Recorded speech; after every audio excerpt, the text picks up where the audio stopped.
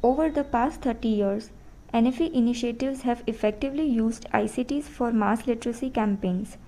NFE has a crucial role to play in reaching marginalized groups, and ICTs are a tool in the effective performance of this role. Early distance education NFE projects use print, radio, television, audio tapes, videotapes, and satellite transmission. Further innovation in ICTs like very small aperture terminal, satellite communications, CD-ROMs are helping to create new innovative learning tools.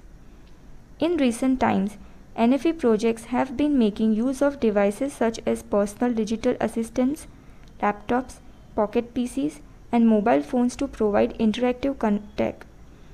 Currently, there are three types of learning spaces where ICTs are used to enhance NFE, which are telecenters, community centers, and community learning centers. Now, countries have started experimenting with newer technologies such as mobile learning, WiMAX, and game based platforms.